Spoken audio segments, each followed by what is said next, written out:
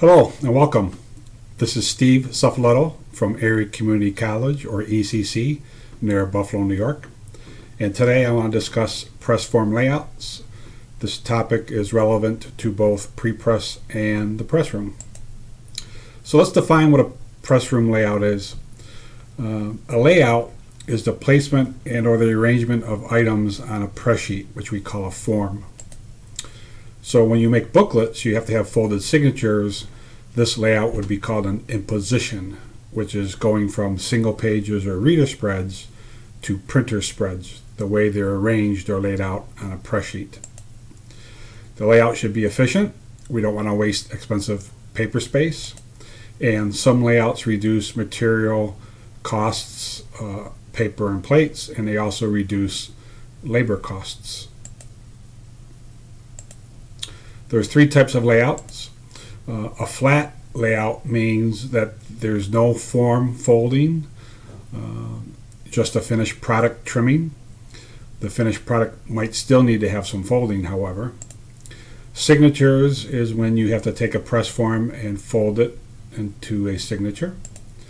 And then packaging is a special circumstance where we have step and repeat or nested or reverse nested cartons that need to be die cut. So we start with reverse engineering. Reverse engineering means you go to the end of the process, which is bindery, and you work your way backwards from bindery to the press room to pre-press. So the needs and the requirements of the bindery must be met. What we want to do here is we want to preserve that square corner for the cutting and for folding accuracy. And on a press layout, we identify the gripper with two X's and a side guide with one X. That forms a perpendicular right corner, uh, 90 degrees, right triangle. And on a sheet fed press, we need to have two side guides because when we turn the sheet, uh, we've changed the side of the side guide. Again, uh, when you do fronts and backs, it's important to have good front to back register. Now to have a folding layout, um, you typically want to have a folding dummy. It can be the same size or it can be a miniature, smaller version. Think of a folding dummy as a sample or kind of like a prototype that gives you instructions and directions on how to do the pre-press layout. Grain direction is always important when you consider the press layout. We want the grain always to be parallel with the press cylinders, the fold, and the binding spine. So the grain direction is important in the press room in for folding considerations and for binding. Now, if you have to, uh, on thicker papers, you can score or crease. This allows you to get a clean fold against or across the grain direction without getting any cracking. Um, so if you look at this illustration here, this is the spine or the backbone at the fold with the grain parallel, we have no cracking. Here, it's against or across the grain, and the paper is cracking. Some more terms and definitions. Uh, plate bend, that's the distance from the edge of the plate to where the plate bends. Some people call this a setback or layback. Uh, the gripper is a mechanical finger that will bite the paper on the impression cylinders and pull it through the press. So we have the gripper bite, the gripper margin, or the gripper edge. You cannot print in this area, so it's typically on small duplicators 3 16ths and on larger printing presses 5 eighths of an inch. Pre-press needs to get this information from the press room. Uh, a form is a flat press sheet, so that flat press sheet has two sides. It has a top or front, and it has a bottom or a back. So if you have multiple forms, we would number them with a number and a letter, one F for front and one B for back. A signature is a folded form with multiple pages. It could be a four pager, an eight pager, or a 16 pager. And those pages are in the correct sequence order and they have the correct orientation for binding. More terms and definitions here head and foot. So you often talk about head to head or foot to foot or head to foot.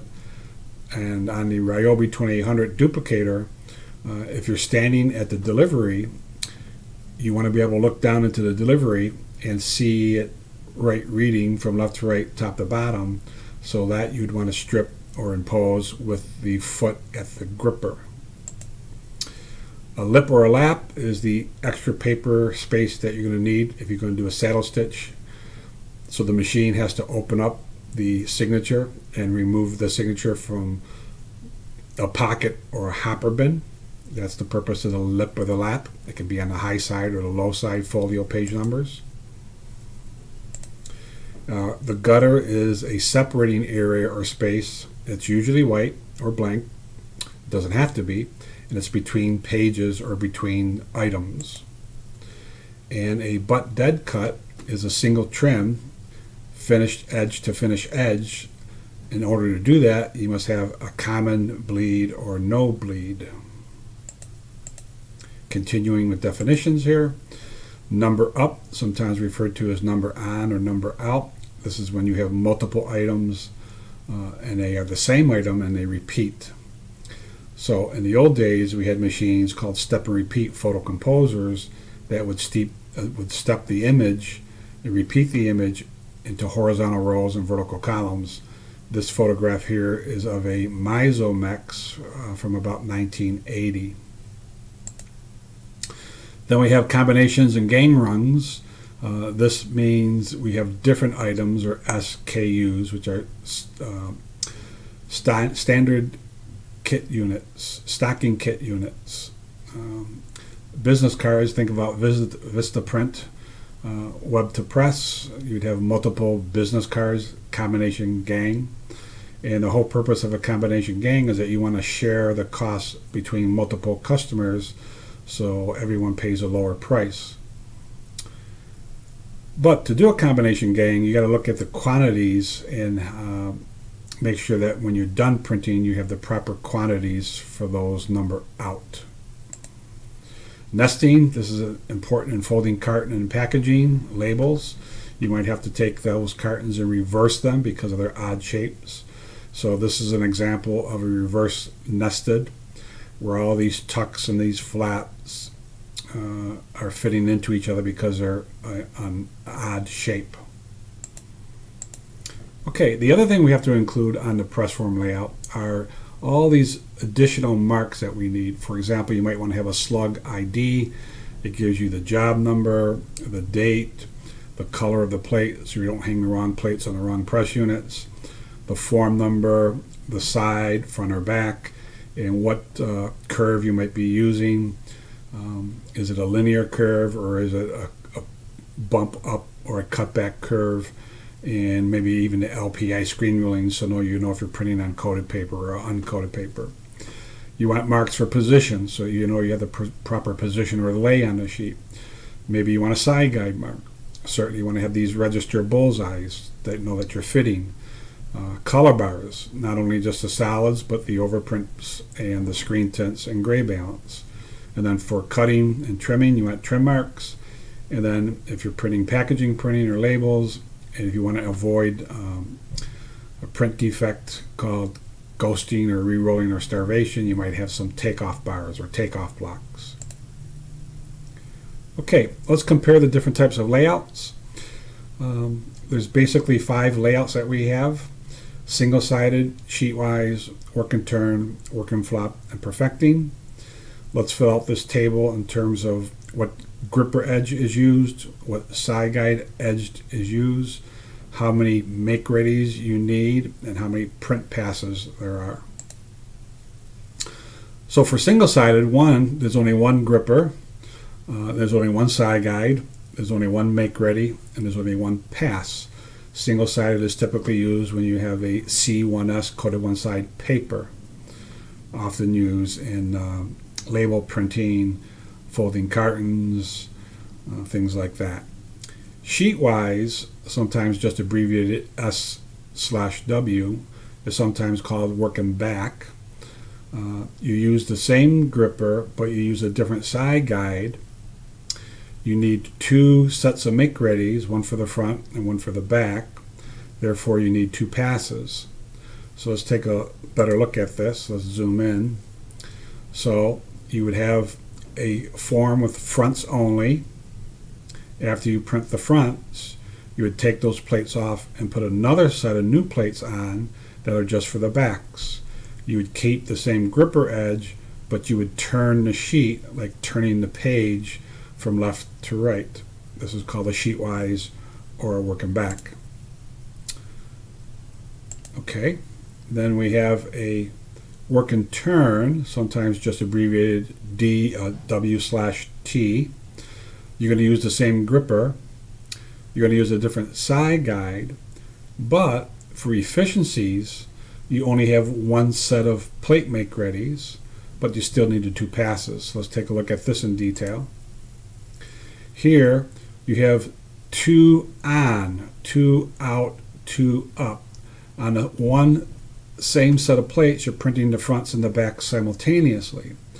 So on the first printing pass, uh, you print the fronts and the backs, but on a second printing pass, you keep the same plates on, you keep the same gripper, but you turn the sheet over, and what happens is the front backs up the back, and the back backs up the front, so that when you cut this in half vertically, uh, you get two pieces out that are done. So you have to consider run length here because if the run length is too short, uh, you'll be holding the press waiting for the inks to dry so you're not taking advantage of the productivity advantages here. So the inks have to dry sufficiently enough, we call that setting, so that you can handle the paper, wind it, jog it, aerate it, turn it over, so you don't get any marking on the feeder table or between transfer cylinders or impression cylinder piling. Okay, and again, the center line is vertical here, and you always have to have an even number out. Twos, fours, sixes, things like that. Okay. Another type of imposition or layout is called work and flop. Here we use a different gripper. We use the same side guide. There's only one set of make-ready plates but there's two passes. So let's take a look at this in detail. So here, it's kind of like a work and turn. We have a front and a back on the same press form, but the center line is no longer vertical. The center line is now horizontal. So on the first pass, you're printing fronts and backs simultaneously. But on the second pass, you keep the same plates, but now you tumble or flop the sheet using a different different gripper edge, but you keep the same side guide edge. Um, the problem with a work and tumble or a work and flop is that if the paper is not exactly to size, any error in the paper gets doubled. So if you're off by a 32nd, that'll then become a 1 16th error when you flop or tumble the sheet. So you might have to actually cut the paper to make sure that it's very accurately to size. And then let's show you uh, a perfecting form. Here we use a different gripper. We use the same side guide. There's two make readies and there's only one single press pass. So let's take a look at this. Uh, you have the fronts on one set of plates, you have the back on the other set of plates. And perfecting means that in a single pass through the press, we can print on both sides of the paper. So on a sheet fed press, these perfectors are typically called convertible because you can switch them back and forth um, either straight, one-sided, or perfect. So it's called a convertible. Now on web printing presses, web printing presses typically print perfecting simultaneously uh, blanket to blanket. Now on some web presses, the perfecting is not done simultaneously, but it's done sequentially, uh, and you use a right angle turnover bar for that. Um, okay, now just a, a, footnote here. In digital printing, if you print on one side only, that's called simplex. And in digital printing, if you print on both sides, that's called duplex. Okay, I think that takes care of that image. So let's bring some closure here. When and where to impose? Well, you have choices. Um, you can uh, impose in a page design program. That's basically doing it manually. or you can do it in specialized imposition software. Uh, probably the most famous one is Kodak, and they have a program called Preps. I think the current version is 8.4. And then we see in this more often where we do the imposition automatically in the workflow using the RIP or the DFE. So in workflows, AGFA has Apogee, EFI Fiery has Impose, Esko has uh, Art Pro. That's a spelling typo, I apologize. Fujifilm has XMF, Heidelberg has Prinect, Kodak has Prinergy, and Screen has TrueFlow. So, uh, thank you for uh, watching and listening to this video. I hope you found it interesting and informative. Uh, please look at another video I'm going to show you that shows you actual production samples of work and flop and work and tumble jobs. Until the next time, goodbye.